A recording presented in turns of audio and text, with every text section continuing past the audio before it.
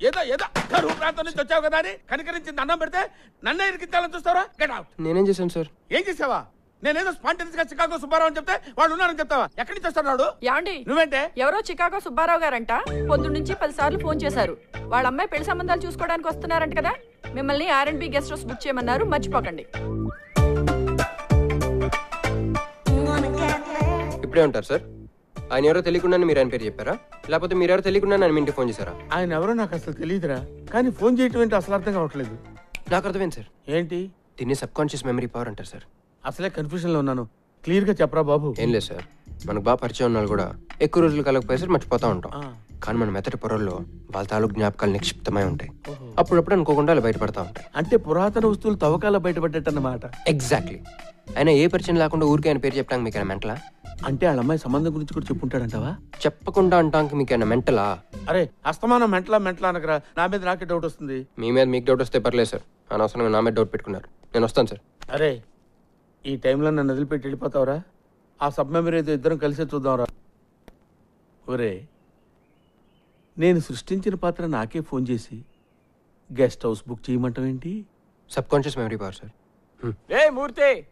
ఎంతసేపు రా వాళ్ళు వస్తారా రారా? నాకు తెలిస్తే కదరా మీకు చెప్పడానికి. వచ్చేస్తారు మీరు లోపలికి కూర్చోండి బాబు.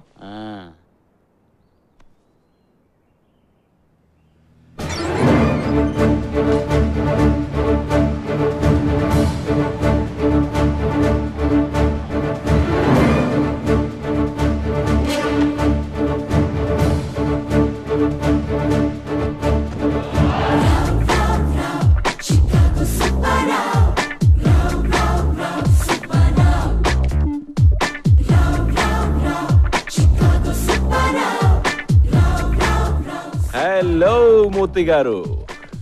How are you man hey ఏంటి అలా చూస్తున్నావు? సుబ్బారావు. మీ చికాగో సుబ్బారావు. ఏంటి? మూర్తి గారికి ఏమైంది? అంటే మీరు నిజంగా వస్తారని ఎక్స్పెక్ట్ చేయలేదు. షాక్ తిన్నట్టు ఓ. మూర్తి గారు మీ వైఫ్ సుకుమారి ఎలా ఉంది? ఏంటి అలా చూస్తున్నారు? లక్ష్మి నా చేతి కాఫీ అంటే మీకు ఇష్టం కదా? మర్చిపోయారా? ఏజ్ అయిపోతుంది కదా? Come let's go inside funny fellow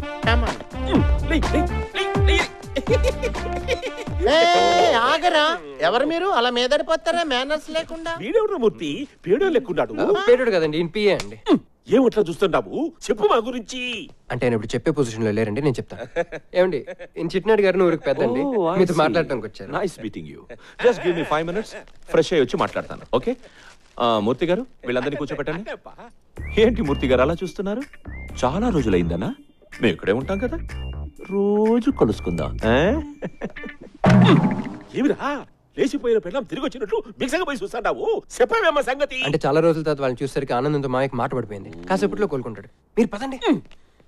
వాణ్ణి కూడా ఇడుచుకరా పద మావయ్య ఏమైందిరా వానికి ఆయన వదలలేదు. సారీ ఐఎమ్ సారీ మిమ్మల్ని వెయిట్ చేయించానా?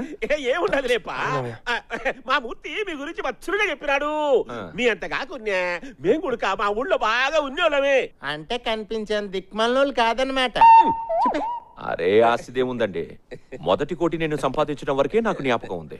ఆ తర్వాత ఆ కోటి ఎన్ని కోట్లు సంపాదించిందో నాకు తెలీదు. ఐదు నూరుల కోట్లు ఉండదని మూర్తి చెప్పినాడు. ఏంలే చెప్పారు చెప్పారు. మూర్తి గారికి మా కుటుంబం మీద ఉన్న అభిమానం అలాంటిది. ఇంతకీ మీరు వచ్చిన విషయం చెప్పలేదే? ఏంలే మీ అమ్మికి పెళ్ళి సంబంధాలు చూస్తాడనటని మూర్తి చెప్పినాడు. అవునండి. నేను డబ్బు కన్నా సాంప్రదాయానికి ఎక్కువ విలువిస్తాను. మేం కొడుకంతే. ఈడు నా చిన్న కొడుకు నాగప్ప. ఎనిమిది చదివినాడు. ఈయన కోసమే మీ అమ్మిని అడగనీకి వచ్చినావు సగ్గుండాళ్ళే ఏమి మూర్తి గారు మీ మీద ఉన్న నమ్మకంతో గౌరవంతో మా అమ్మాయి పెళ్ళి బాధ్యత మీ మీద పెడితే మీరు చూపించే సంబంధం ఇదేనా అది కాదు మీరేం మాట్లాడకండి ఇంకొక క్షణం మీరు ఇక్కడ ఉన్నారంటే నేనేం చేస్తానో నాకే తెలియదు జాకి వీళ్ళు పంపించే నేను నాగప్ప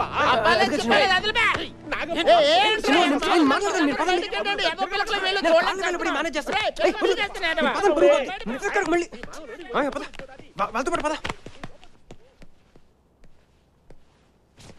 చికాగో సుబ్బారావు సూపర్ పెద్ద ఎరగదీసావు మరి ఏమనుకున్నావు? Two times gold medalist in mono acting అదే నాటకాల బ్యాచ్ కదా కొంచెం ఓవర్ అవుతాం అనుకున్నాను. కానీ పర్లేదు బాగా చేశారు. సినిమాలో లాగా ఈ డ్రామాలేంటి ఈ మనుషులేంటి నాన్న? పెద్దమ్మా నీకు పూజ నచ్చింది కదా? అందుకే కదా ఇంత దూరం వచ్చావు? మరి ఇంకేంటి తీసుకెళ్దాం. అది కాదు నాన్న లక్ష్మి చెప్తాను. నువ్వేం భయపడకు. నేను పుట్టాక యాక్టింగ్ నేర్చుకుంటే వీడు పుట్టుకతోనే యాక్టింగ్ నేర్చుకున్నాడు. బోర్న్ ఆర్టిస్ట్ రే నాన్న నాకు ఈ క్యారెక్టర్ బాగా ఎక్కేసిందిరా. నెక్స్ట్ సీన్ ఏంటో కొంచెం చెప్పు. సారీ పెద్దనా నెక్స్ట్ సీన్ నాది. వాళ్ళ అమ్మాయిని మీ అబ్బాయికి ఇచ్చి పెళ్ళి చేయడానికి వాళ్ళు కొన్ని కండిషన్స్ పెట్టారు సార్ ఆ కండిషన్స్ నాకు మామయ్యకి నచ్చలేదు. అందుకని వద్దని చెప్పేశాం. ఏమావయ్య వద్దని చెప్పనికి నువ్వెవరిరా మూర్తి. వాళ్ళు యాయా వెలికలు పెట్టారో మాకు తెలియొద్దా? కండిషన్స్ అంటే పెద్ద కండిషన్స్ కాదు. కాకపోతే మీ గెటప్ చాలా ఎక్కలేదు.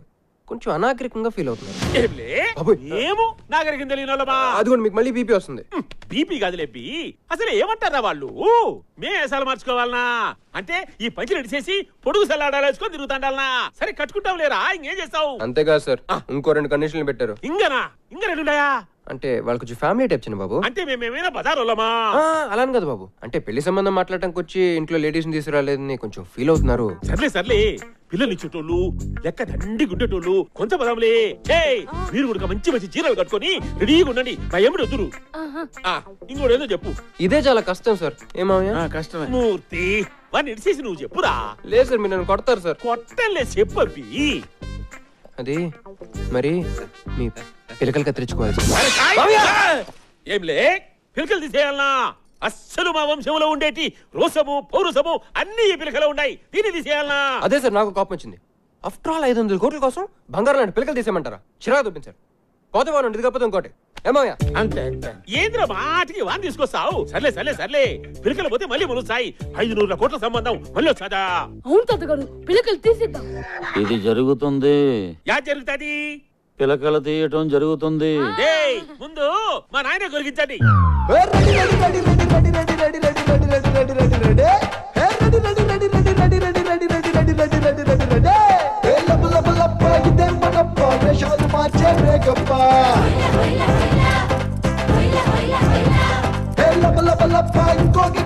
పైసాలు గుంజే బిల్డప్ప ఆకాశానికే హై జంప కాళ్ళు ఎరగబాకప్ప కోట్ల ఆస్తిపై గర్జీవ అంతాస దేనికే చిప్ప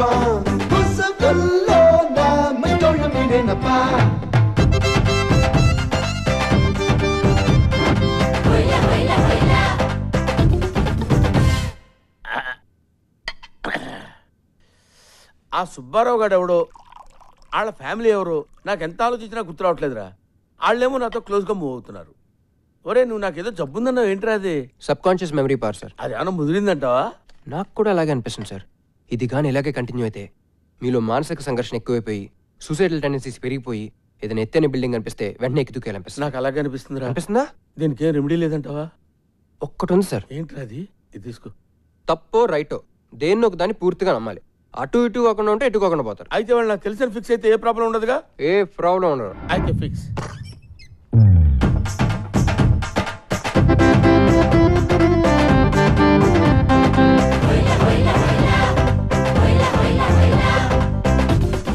మిమ్మల్ని చూస్తుంటే చాలా సంతోషంగా ఉంది. మీలో చాలా మార్పు వచ్చింది. మీ మనసు తెలుసుకున్నాం మమ్మల్ని మేము మార్చుకున్నాం.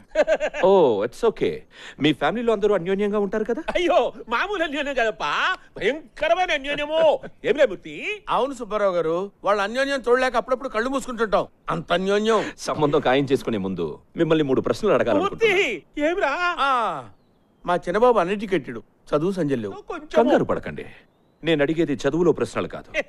చిట్టినాయుడు గారు మీ భార్య పుట్టినరోజు ఎప్పుడు? కమాన్ బ్లాకీ చెప్పు. కమో అలా సిగ్గుపడతారేంటండి? అన్నయ్య గారు ప్రతి సంవత్సరం మే పద్దెనిమిది వస్తే చాలు. అదొక పెద్ద పండగలా చేస్తారు. వద్దండి అంటే వినరు. అన్ని చేసి చెప్పడానికి సిగ్గుపడుతున్నారు. మీ పర్సనాలిటీకి సిగ్గు సూట్ అవుతుందండి. తొక్కిని అడిగితే సిగ్గుపడకుండా ఉంటామా? సెకండ్ క్వశ్చన్ బాబు మీ పెళ్ళి రోజు ఎప్పుడు? నాదే నాకు తెలియదు ఈ గబ్బు నా కొడుకు నన్ను అడుగుతాడేమి? బాబాయ్ గారు దేశానికి స్వతంత్రం వచ్చిన రోజే ఈయన స్వతంత్రం పోయిందని ఎప్పుడూ జోక్ చేస్తూ ఉంటారు. గుడ్ మీరు మీ భార్యను ఎలా పిలుస్తారు? ఇంకేం పిలుస్తాం. చెయ్. అంటే పేరు పెట్టి పిలవరా? అది కాదన్నయ్య భార్యను పేరు పెట్టి పిలిస్తే ఆయుక్షీణం అని మా దగ్గర నమ్ముతారు. అందుకే పేరు పెట్టి పిలవరు. మీ భార్యలు మీరు ఎంత బాగా చూసుకుంటారో మాకు అర్థమైంది. ఆ, మూర్తి గారు అయ్యా. మాకు ఈ సంబంధం నచ్చింది. మా అమ్మాయిని తమ్ముడిని పిలిపించి ఇమ్మీడియట్గా ముహూర్తాలు పెట్టుకుందాం. అన్నట్టు మీకు అన్నదమ్ములు ఎవరు లేరా? లేకపోవడం సుబ్బారావుజీ? ఒక అన్నయ్య ఉన్నాడు. వాట్ మీకు అన్నయ్య ఉన్నారా? అంటే ఉండకూడదనే. మీరు తొక్కులు అడగండి. వాడు ఉన్నా లేనట్టే. మీ అన్నగారిని ఊళ్ళోనే పెట్టుకొని ఆయన లేకుండా సంబంధం ఖాయం చేసుకోవడానికి వచ్చారా? అంటే మీరు వాళ్ళని తప్పుగా అర్థం చేసుకున్నారు సార్. మీలాగే వాళ్ళు కూడా బాగా క్లోజ్. ఊళ్ళో అందరూ వాళ్ళు రామ్ లక్ష్మణ్ బ్రదర్స్ అంటారు. మరి ఈయన అతనున్నా లేనట్టే అని ఎందుకన్నాడమ్మా? ఆ, అంటే ఆయన ఉన్నా ప్రస్తుతానికి ఊళ్ళో లేకుండా పోయారు నా ఉద్దేశం. అంతేనప్ప. చెప్పురావతి సుబ్బారావు గారు లక్ష్మమ్మ నా మాట నమ్మండి. మీ ఫ్యామిలీలో ఒక మెంబర్ లాంటి మీరేం అనుమానం పెట్టుకోవద్దు. Trust me okay. ఓకే. మీ అన్నయ్య గారు ఊళ్ళోకి రాగానే ముహూర్తాలు పెట్టుకుందాం. పూర్తిగా. చచ్చిపోతాడు. నాకు అన్నం ఉండాలని చెప్తావా? ఉన్నాడు కాబట్టి చెప్పాను సార్. చెప్తే చెప్పినావు లేరా? ఇప్పుడు వాళ్ళు వాడు ఉంటే గానీ సంబంధం ఖాయం చేయమని చెప్తాడారు. యాడ్ నుంచి తీసుకొచ్చావు? మీరేం వరి కాకండి బాబు? ఆ విషయం మా మామయ్య వదిలేండి. ఇంత చేసినాడా మాత్రం చేయలేడా? ఏమో ఊరుకో. దయమూర్తి నీకు ఆఖరి సార్ చెప్తాడా నువ్వేం చేసావో ఏమో ఆ పెద్దనాయన గాని నీ గుంజలావాలా లేకుంటే నీ తలకాయ కోసి మా పులి తాతాపతిలే తాతాపతిలే అంటున్నాడు వారికి ఇచ్చేస్తా. Hey guys, Hi, this is Venkatesh here. This is Vijay Devarkonda. hi, this is Samantha. Velankonda Srinivas subscribe to Telugu film Nagar Subscribe to Telugu Film Nagar. Do subscribe to Telugu Film Nagar. Telugu film Nagar please subscribe to Telugu film Nagar You're watching Telugu Film Nagar. Subscribe to Telugu Film Nagar for the latest updates. Telugu film Nagar చిన్న bell icon ఉంటుంది నన్ను నొక్కండి